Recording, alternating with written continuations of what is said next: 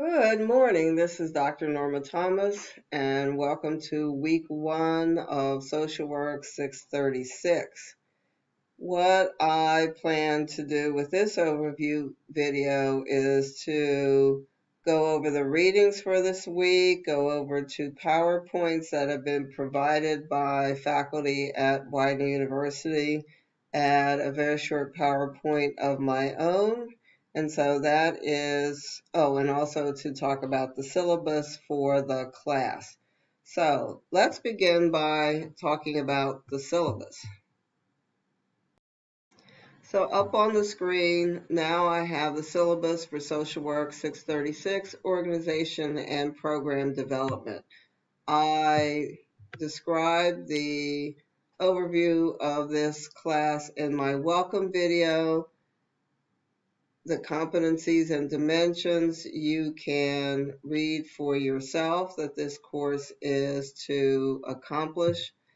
The course objectives are to understand and articulate the ethical issues that arise in working with human service organizations, to understand and articulate beginning skills in organizational assessment, practice, and program management, to understand and articulate beginning skills in program development, to understand and articulate beginning skills in program evaluation, appropriately use the professional empirical and theoretical literature related to social work practice with individuals, families, and small groups, to assist in writing a program proposal to understand the relationship between the actions of the social service agency and the continuation of and or the remediation of oppression and discrimination and finally to demonstrate the ability to write a grant proposal which is the major written project for this class. The texts are the current APA manual, the Brody and Nair text titled Effectively Managing and Leading Human Service Organizations, and the Kettner, Moroney, and Martin text, Designing and Managing Programs, an Effectiveness-Based Approach. So the course requirements are set in the syllabus. Read those on your own. Policies in terms of academic integrity and online attendance and submission of assignments. They should all be done on time. The outline of professional behavior for an online courses here and the um, discussion in terms of if you have questions, please ask them. And if you have been provided a learning accommodation, please make sure I get that information as soon as possible.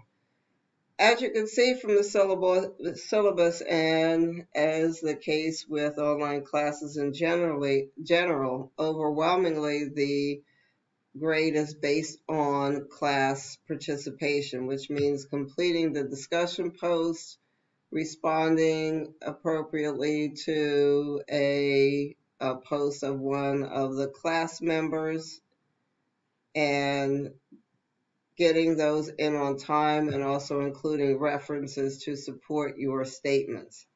The other big assignments have to do with writing a grant proposal, and there are components of that. The first is organizational capacity assessment, the second is the statement of need and program goals and objectives. And the last is that cumulative grant proposal. APA style is what we use in writing papers. And so, again, if you're not familiar with APA, make sure you either have the APA manual or go to one of the online resources to uh, get that information so that you're writing in APA style. That is very important because this is an academic program which requires academic writing. So again, class participation, all that information in the rubric is here. I'm going through it fast. The organizational capacity assessment is outlined here. and is also outlined online in the course so that you can follow along with what is required for each section of that paper, but we will be going through it each week. And there is a rubric attached. There, the statement of program goals and objectives, and then finally that cumulative proposal. Sometimes proposals can be intimidating, but it's a necessary part of practice because as social workers, we are charged with organizational change as needed and what better way to try to make organizational change than to write grant proposals in order to find resources that will benefit our clients. So the outline for that is in the syllabus. So I implore you to take a look at that and also to download the course schedule for each week. This is a 14 week class, so each week except for one, there are requirements for that week in terms of the readings. So please go through those readings. The first is Understanding Organizations, Policy and Program, the social worker's role. The second week is What do organizations do and, and the auspice and legal aspects of organizations. Week three is How they work. Week four is Organizational Management. Week five is looking at goals, goal attainment, and strategic planning. Week six is coming up with funding.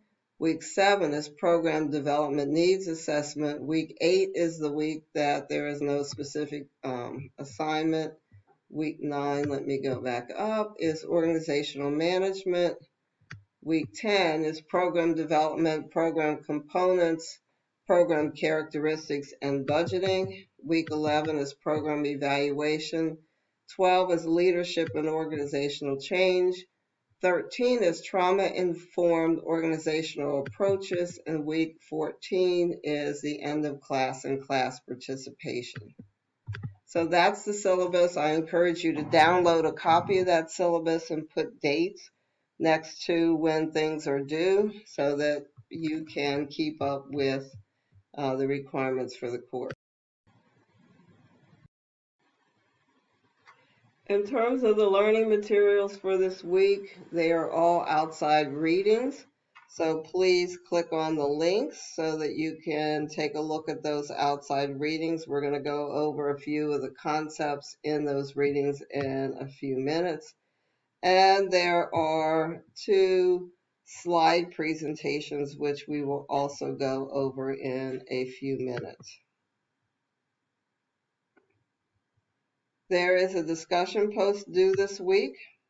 So in this course, there will be a lot of time spent considering the context, both physical and otherwise, in which we practice social work and the role we play within those contexts. The course assignments will require you to identify an organization or agency for assessment, program development, and grant writing. So if you have had a field placement or you're in a field placement, it would be good to use that organization. Hopefully you'll be able to come up with an organization that you can um, use in terms of the major assignments for this class. So the initial post is as follows the name and location of an organization or agency, a brief four to six description of that organization, and a brief description of your role within that organization. And then there will be a response. So you're going to respond to your assigned partners organization. Those assignments will be made shortly and you can use a variety of ways to respond in terms of that organization. You can use media clips. You can document official evidence of an online presence of the organization, like going to their website or news stories. So your response in this form is two to three paragraphs finding out or summarizing what you have found out about your partner's organization. What kind of evidence of an online presence did you find? What type of organization agency is this? Would its administrators be pleased with its online presence? Does it seem like the kind of organization that you would want to send someone to visit or go there yourself? And given what the organization agency does, do you think its online presence is a good fit? So in addition to what you've written, upload at least three pieces of evidence to your response.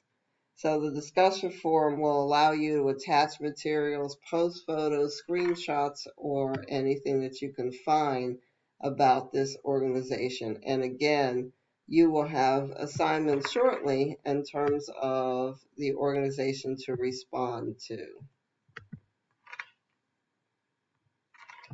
So that is the assignments for this week, just the one discussion post. So let's go over the short PowerPoint I prepared, which just talks a little bit about some of the concepts in the readings for this week. So the overview of the readings talk about social workers as leaders, social workers as change agents, and social workers as policy makers. Social workers should envision themselves as leaders. I would ask each of you, do you consider yourself a leader? And if you can't raise your hand and say that you consider yourself a leader, I would hope by the end of this class that you would identify as such because we need to be the individuals who make change on the behalf of the clients that we are called to serve. Social workers are in the best position to identify where change is needed and advocate for that change because we see firsthand when policies do not work, we see when services are inadequate, and it's not good enough for us to just say, oh, well, it doesn't exist or it's, it's flawed. We are the individuals who speak for those whose voices are characteristically silenced.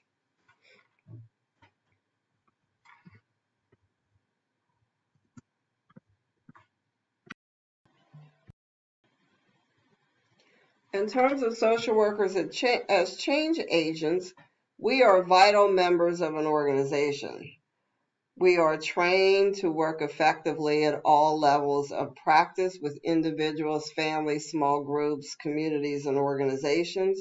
And we, again, see firsthand when policy services are ineffective and can identify where change is needed. Social workers can help mediate existing policy. Social workers can provide information for policymakers because where do policymakers, people in government get their information? They hopefully get it from knowledgeable people who can speak to the problem. So one way to make social change is to be willing to provide information to policymakers and be seen as a vital resource. Social workers can help set policy where there is none.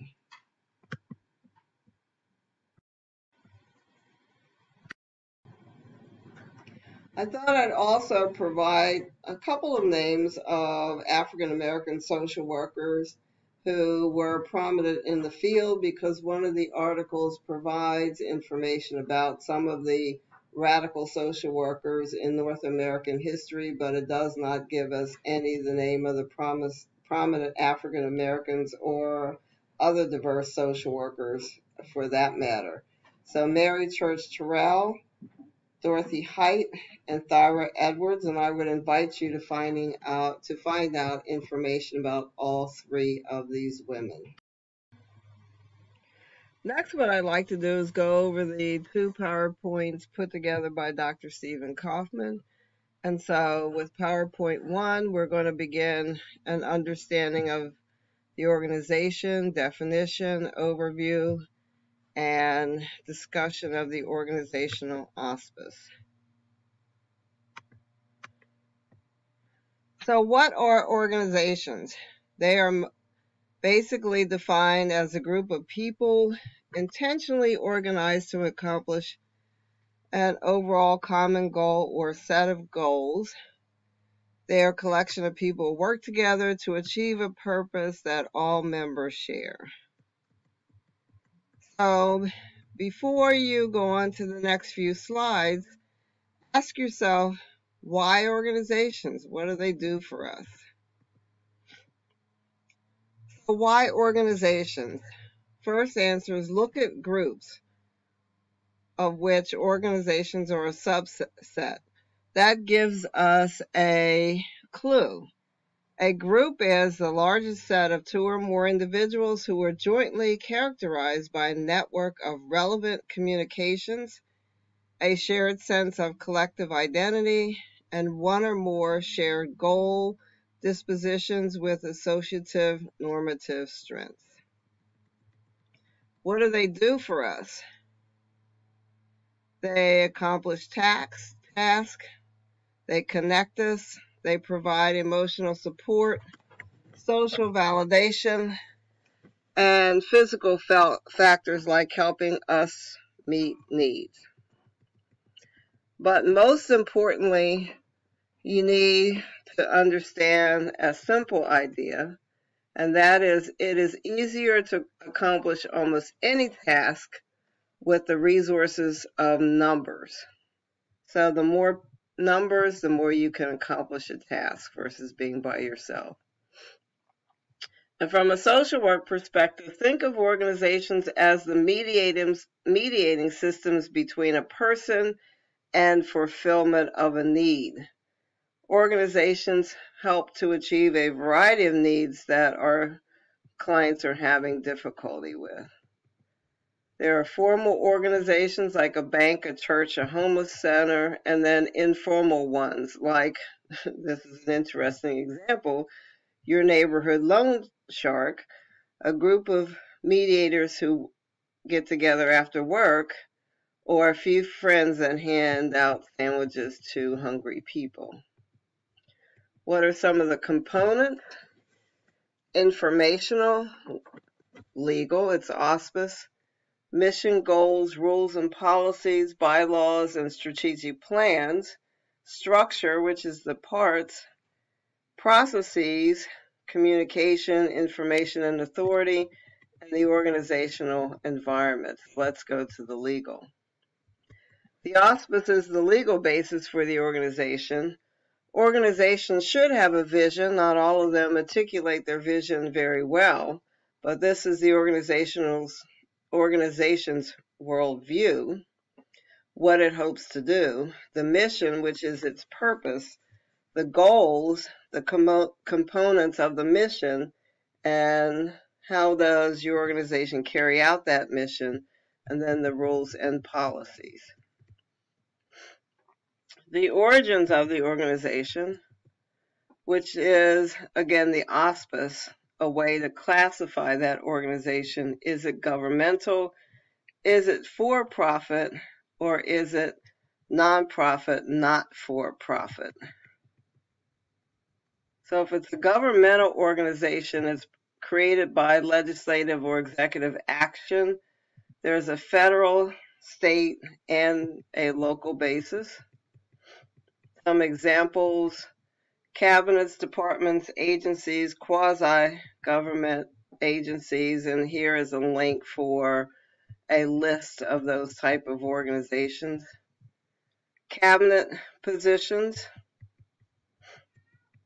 And then you have the nonprofit versus for-profit.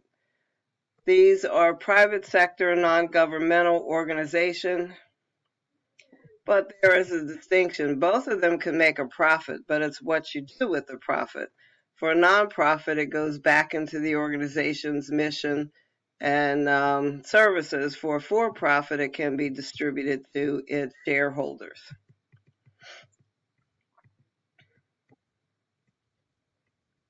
So, for profit, the goals are generally to make profit.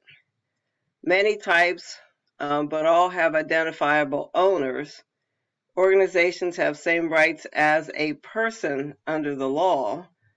And main types under the IRS include sole proprietorships, one person owns, S corporations, which are partnerships, and corporations. Again, a nonprofit, the distribution does, the the profit can be made, but it doesn't go back to individual owners. It goes back to the public.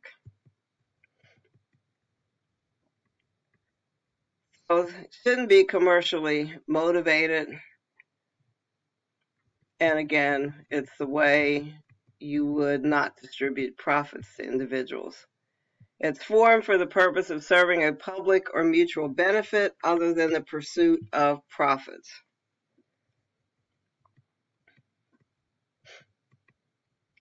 So here's a different definition of formal, private, nonprofit, self-governing, and voluntary. In that case, must have a public service mission, must be organized as a non-for-profit or charitable corporation. Government structures have to preclude self-interest, must be exempt from paying taxes, and must possess a special legal status that stipulates gifts made to them are tax deductible. And here are some synonyms for nonprofit. Gives you the summary between the for-profit and nonprofit sector.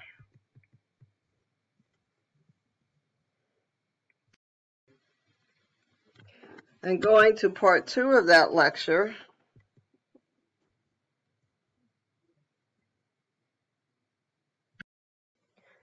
we're now going to look specifically at vision, mission, and bylaws. So I won't review organizations again or their components. Um, we talked about the auspice, the vision is the worldview, the mission, the goals, and the bylaws are the rules of the organization.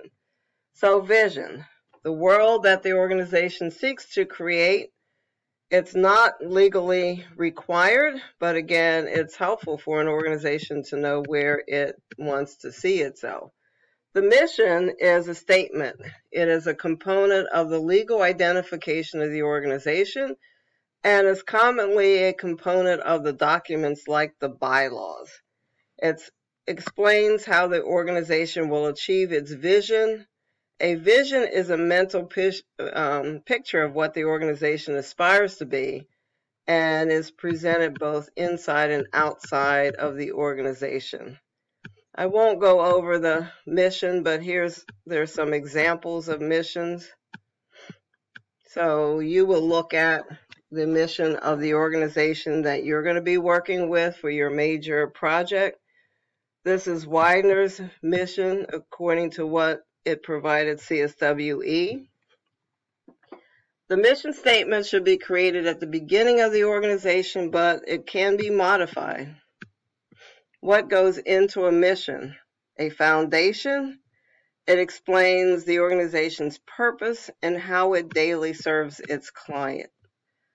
It describes primary products and services, a distinctive competitive advantage, and an overall strategy for long-term success. And it reflects the agency's expected level of excellence. Mission statements are generally fairly short, so if somebody asks you the mission of an organization, you should be able to repeat it in very few sentences what it's not. It's not detailed and it's not narrow. It may determine the competitive environment, how resources will be allocated, and how many team members are needed.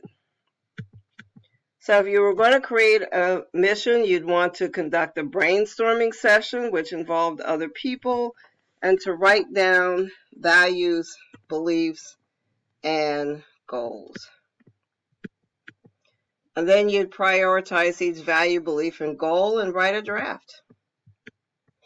And after each draft, does this mission clearly depict what the organization values and believes? Does this mission portray the goals of the organization? And does the mission cause those involved with the organization to positively act? If we're going to communicate that mission, it should be in writing it should be talked about all the time. It, it should explain the benefits. People should be enthusiastic about the mission and able to describe how specific activities achieve that mission. The goals. How is your organization going to carry out that mission? They're general and they focus on the major elements, not the minutia. So this is an example that says the goals of the MSW program. So vision, in terms of summary, I went too fast. Your vision of the organization, although it's not required, if an organization cannot articulate its vision, it may not be positioned, positioning itself to be very future oriented. Its mission, its goals, and its objectives. The goals are more broad based, objectives are much more specific, and we'll be talking about them much more. And we went too fast again. Back to the bylaws. Organizations have these rules, and they talk about ownership, auspice, and who can make authority, uh, make decisions. They lay out the fundamental pr principles which govern an organization, and they establish the, these specific rules of guidance by which the organization is to function. Most organizations do have bylaws. And the strategic plan looks to the future of the organization, and that will be addressed in a future lecture. So, for today, we have gone over the syllabus, talked about major assignments. We have looked at an overview of the readings for the week and a lecture by Dr. Kaufman, and also the requirement for the the assignment for this week. Again, shortly you will get your partner, and that is who you will respond to about their organization, which means that everybody has to be timely and posting the information about your organization so your assigned partner can respond. If you have any questions, please email me using the inbox for the class prefer preferably, or ndthomas at widener.edu for Outlook. And I look forward to reading your posts for this week. Thank you. Bye bye.